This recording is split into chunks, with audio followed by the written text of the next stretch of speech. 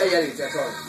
Oh, have Eddie um, Hayes gave me a bunch of cells for the weekend, but I'm not gonna have time to kill them, probably. So I'll keep the TP speeds for us.